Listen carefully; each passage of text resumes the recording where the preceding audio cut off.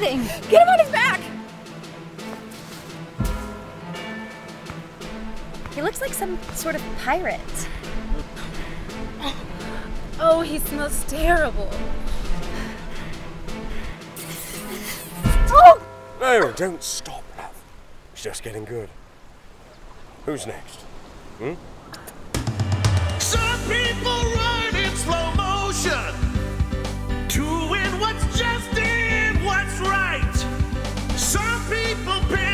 and plunder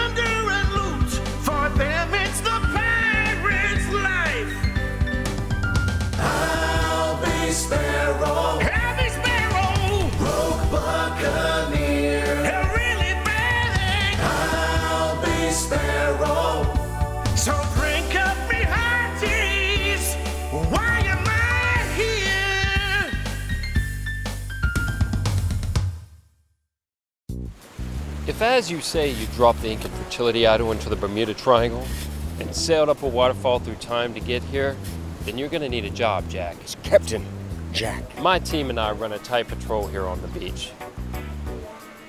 But we could always use the extra help.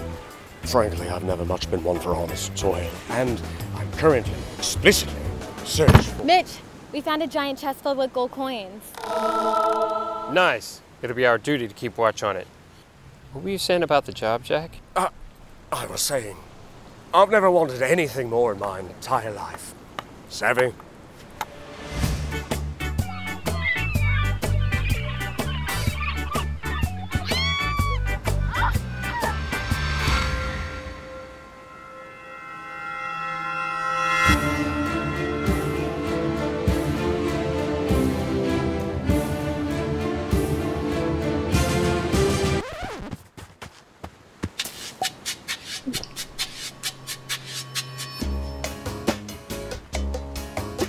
That is some impressive booty.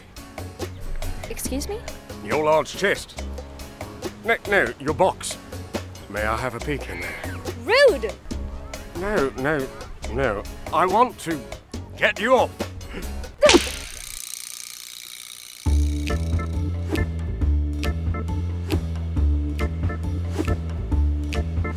We're getting reports of stolen objects from all over the beach. We definitely have a master thief on the loose. Well, as long as they don't get wind of this treasure chest regarding.